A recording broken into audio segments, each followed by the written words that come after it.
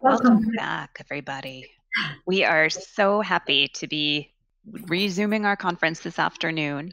We will be hearing next from two sisters who will speak with us about lived experiences, and uh, Marie Paul will introduce the, the sisters. To speak of the facets of the difficulty of finding one's own identity when living with the disorder, it is my great privilege to introduce Bria Paley. Bria has a multitude of talents and creative interests. She is a writer, a fashion designer, a singer, and a background actress. Bria is a New Yorker, and she has also lived in distant places. Her family has been a constant anchor point, and along with being a daughter and a sister, she has been delighted to become an aunt recently. Joining Bria for this segment is her sister Naama Paley Rose.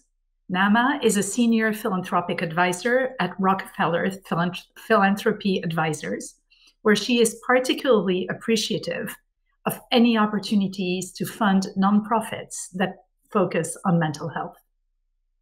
Nama is equally devoted to family.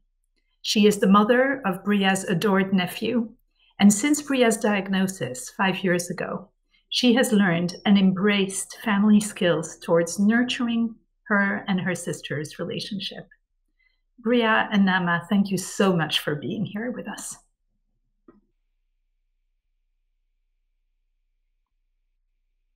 Hello, thank you. Um, Naama, she's going to come back. so, um, good afternoon. The first time I ever heard about borderline personality disorder was when my cousin in Australia was diagnosed with it. She's a few years older than me. I had been living in, in Sydney and she had suddenly dropped me from her life. I was very hurt. When I heard she'd been diagnosed, I had no idea what it meant, but I thought, wow, she must be really messed up. She deals with her pain by getting tattoos. But a few years later, my mother told me to check out the DBT Center in San Francisco where I received my own BPD diagnosis. This was in 2016, and I was 33 years old. It has taken decades of therapy to finally begin to understand myself. It has also taken the medical world a long time to catch up to BPD. I'm very open about it, but I rarely encounter someone who really knows what it is. I still forget some of the criteria when I'm trying to explain it. It's a perplexing disorder because it manifests so differently in each person for a long time, I thought I was cursed. I had such intense emotions as a child that they scared me and the people around me. I don't remember everything, but there was a permeating fear I felt, the fear of existing. I'm the oldest of three children. My sister Naama is presenting with me today, and I'm so grateful for her support. I know I wasn't easy to grow up with. I was abusive, pushed, pushed boundaries, and refused to follow basic rules. As a teenager, I got multiple piercings in downtown New York City, where I was in school at the time. I actually thought I could hide my nose piercing once I got home. As you can see, I still have it. My parents did the best that they could, and they sent me to many therapists and specialists from the time I was a young child. I was usually resistant. They even tried art therapy under the guise of a private art lesson. While I didn't have a BPD diagnosis at that time, I was diagnosed as a teenager with OCD and then ADHD. I couldn't stand anything that felt out of order to me. I'm highly intuitive and always knew when Naama had taken something of mine without asking. When asked by my parents to do the dishes, I refused. It became such a fight that my parents eventually gave up trying, leaving my siblings understandably resentful. It turns out that you can't go through life without washing dishes or avoiding what's uncomfortable. That has been a hard lesson to learn. I am still a rule breaker, and COVID became a real trigger for my outburst this past year. I live in Astoria, Queens, in New York City. My neighborhood felt more relaxed than other parts of the city. My family, on the other hand, they live in Brooklyn. They followed every rule strictly. I think of myself as a rational person, but my brain decided that my family had rejected me it took I, I, took everything personally and told myself that I had lost my family, that they didn't love me, and I'd need to find a new family. I felt victimized for thinking differently, but what I really wanted was special treatment. There were many tears, joint Zoom therapy sessions, and hurt feelings. The other sadness for me was missing out on extended time with my young nephew. Naama met me outdoors and tried to be accommodating. But it wasn't until recently when we both got vaccinated that I felt we could start to put this painful chapter behind us. We had hoped to present at last year's conference. I'm glad we are here today, but a lot has happened since then, and this is a different presentation than the one we would have given. I love Naama very much, but it's hard to see life from her point of view sometimes. She's married with a second baby on the way. I am single and have a history of unhealthy relationships. The topic of this year's conference is identity. That word has overwhelmed me at times because I have had many different identities. My career has taken some dramatic turns. I started out as an arts journalist, then got into sales, retail, and customer service. I wasn't able to hold on to a job and had no idea what to do next. I often got distracted by personal problems and felt angry when a supervisor had me take on a task I didn't want to do. Another part of my identity is being Jewish, and I'm proud to be involved with a number of communities. Around two years ago, I published an article on being a Jewish woman with BPD. I got a lot of great feedback about how it helped people understand the disorder and how brave I was to share such a personal story that was validating to hear. But to be honest, it doesn't feel like an option for me not to share. I see myself as an advocate, and I know that hidden pain and shame make everything worse. I had enough of that growing up and not understanding what was happening to me.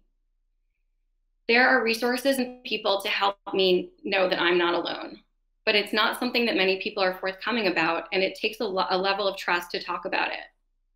I found that the more I tell people I have BPD, the more I meet people who tell me they have it also, or they know someone who does. I've made many connections that way. People with BPD are known for impulsive decisions, and I am no different. Whenever I would feel frustrated, frustrated or bored, I would book a trip somewhere, whether I had a job or not. These vacations were usually an escape from reality. Friends would ask me how I was able to afford the trips when I wasn't consistently working. I'm very resourceful, and I found flights on sale and stayed in youth hostels or other budget accommodations. I actually took a job as a travel agent so I could get the discounts. I also began participating in the gig economy. I realized I could make good money by renting out my room on Airbnb while I was traveling. While these trips, while these trips became excessive and addictive, I learned so much from seeing the world, often on my own. I navigated cities I'd never been to and recovered when things went wrong, like my passport and wallet being stolen in Buenos Aires. Traveling helped me feel capable, strong, and resilient. I hit a breaking point in 2016 while living in San Francisco. I was newly diagnosed and I went through a tough breakup, which meant moving out of the home I had been living in. I was scared to be alone and felt like I had nothing to hold on to. My parents encouraged me to come back to New York City and stay with them for a while. For five months, I worked on picking myself up again. Some days I couldn't get out of bed, but after some time, I found a great DBT therapist who I continue to see, and that really helped. I was finally living in the same city as my family for the first time in 11 years. To be honest, it felt easier to live far away and simply not deal with working on my family relationships, particularly with my siblings but we were raised to be close, and family is important to me. I missed out on a lot while I was living in Sydney and San Francisco. So I decided to permanently stay in New York. My sister was newly pregnant with her first child, and I was so happy to be around for that. With the help of my parents, I was able to find an apartment in Queens. It has been my safe haven, and I'm grateful for it every day. I'm still an Airbnb host too. When my nephew Isaac was born nearly three years ago, I felt a love I'd never experienced. Watching him grow up has been a huge gift. I still can't believe it when he says my name or tells me a new thing that he's learned. I also have, young, have a younger brother, and we have been able to work on our relationship through regularly scheduled meetups. It can feel like slow progress to me, but it is progress. My life these days is in transition. I want to say that I also identify as an addict, but not of substances. I get addicted to people and to relationships. I also struggle with codependency. I discovered Sex and Love Addicts Anonymous, and it has really helped me. A symptom of BPD is fear of abandonment and a pattern of unstable relationships. I get emotionally attached easily and quickly and think that another person can take away my pain and solve my problems. My last relationship ended in February, and I still have very hard days. With the help of my program, my sponsor, and my therapist, I'm learning what matters to me most and to give myself the things that I need. In recovery programs, they recommend the HALT skill. This stands for hungry, angry, lonely, tired. In DBT, it might be the please skill when feeling particularly low. This may seem obvious, but to someone with BPD or to an addict, it is not. I have to check in with myself a lot to see what I need in that moment and why I may be triggered. Then I can hopefully avoid an outburst. As a young child, I escaped into fantasy as a way of dealing with my fear, which turned into anger. I felt misunderstood, and I still do. But now in my recovery program, I attend morning Zoom meetings of 100 women who feel the way that I do, and that helps me too. The 12 Steps is a spiritual program that really focuses on the relationship with God or a higher power.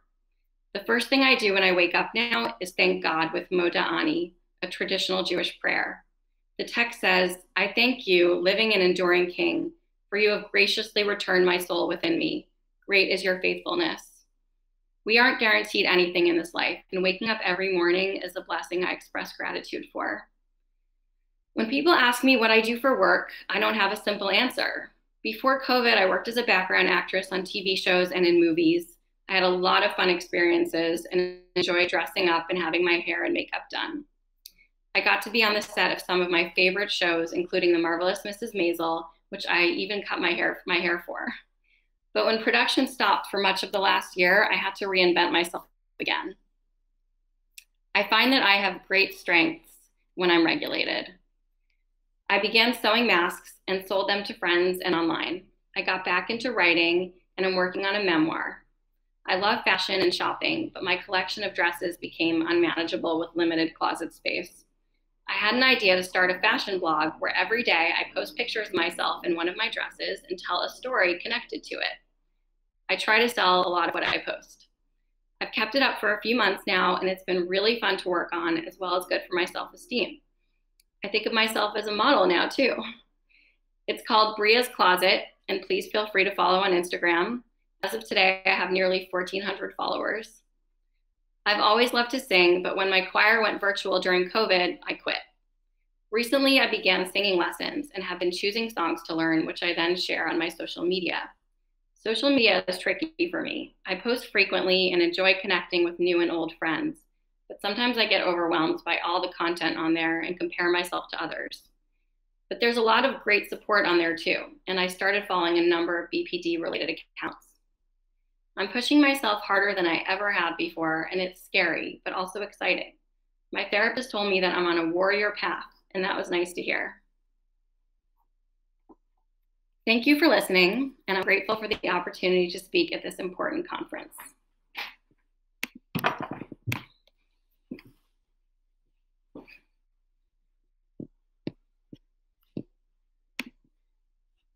Hi, um, and thank you to my sister for going first and for sharing so openly about what I would definitely agree is a total warrior path. I still remember the first time I Googled borderline personality disorder and found the criteria according to the DSM 5. I think I covered my mouth in amazement. It was like finally reading a job description for my sister Bria. Varied or random mood swings, impulsive behaviors, problems with anger, including frequent loss of temper or physical fights. I went through the list with my husband, Stephen, and kept saying out loud, check, check, check. For me, it felt quite liberating to finally see the list of her various characteristics articulated and captured in one place. And then, extremely frustrating. Why had it taken our family over 30 years of my sister's life to settle on the right diagnosis? In preparing for this conversation, Bria bravely asked me to reflect on what felt scariest and most unstable about our childhood, about growing up with a sister who had undiagnosed BPD. By and large, I remember our childhood with warmth, marking the Sabbath together as a family, summer trips, weekends at the beach with cousins, trips to museum. But when I zero in on some of the particular moments, the patterns, the dynamics, I do feel myself re entering some of the instability that overshadowed joyful moments. I can recall so many moments of being in the presence of Bria's frustration, witnessing her feeling misunderstood and invalidated. So many moments where she wanted one thing and the rest of our family wanted another. and none of us having the tools to come to a place of compromise. How irritated she was in confined spaces. How challenging long car rides were that often resulted in my dad pulling the car to the side of the road and yelling at us. How scary it felt to me to observe my sister throw a tantrum, and one that often became violent towards myself and my younger brother. And then within moments, she would recover, and then feel hurt that I wasn't able to recover and go back to playing with her, as if the tantrum had never happened. It was scary. It still can be scary. And it's a lifelong challenge to have a sibling, to have any loved one with whom it sometimes feels like I don't always share a language or perspective of the world. Like we exist on slightly different planes and need translators in the form of experienced and trained therapists to even begin where the other one is coming from. I can't capture how powerful it was a few years ago when Bria invited me into a therapy session with her fantastic therapist.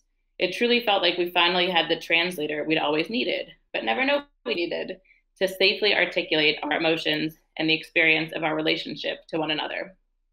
My identity, I would say, has certainly been strongly shaped by growing up and living in a family with a sister who has BPD.